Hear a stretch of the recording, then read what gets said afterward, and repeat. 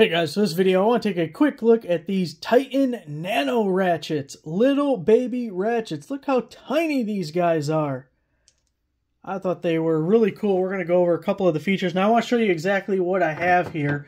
So on the right we have the Titan quarter inch drive Nano Series ratchet. It's model 11330 and that's this guy right here. And then on the left, this one is the Titan Nano Series quarter inch driver 11331.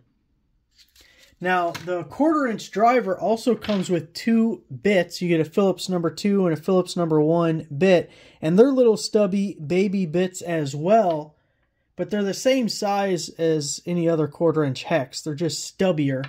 And if you look at these, I just think these things are amazing. Ultimately, I don't know how often I'll end up using them, but super small. Look how short this is. I gotta take measure right here. How I think they said they're two and a quarter inches. I think. Look at that. About two and a quarter inches long, including the head, and look at that.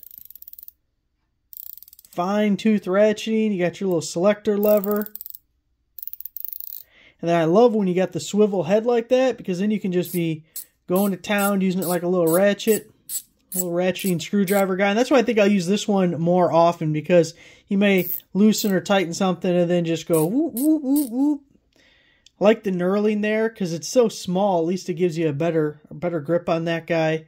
That's what it looks like there. And it is magnetic, if you're wondering. To hold that in there. And then I grab just a regular Phillips bit just to show you the difference.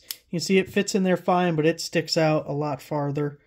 Like this guy, you know, it's about twice as long. So it comes with two. I'm sure you can get these other stubby ones somewhere else, but regular ones fit as well. So that's what the quarter inch driver looks like. And then the quarter inch ratchet, you know, fairly similar.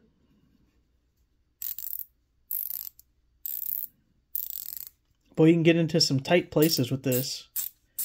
Not going to get a whole lot of leverage, though. Not a whole lot of leverage with a little guy like that.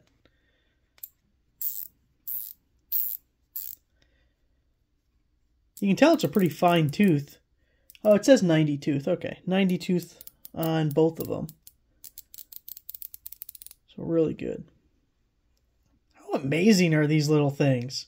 Let's put them this way so you can see the brand and the little guy at the same time. Boy, they're even like, how do I hold these? That is so cool. Look at them little baby guys.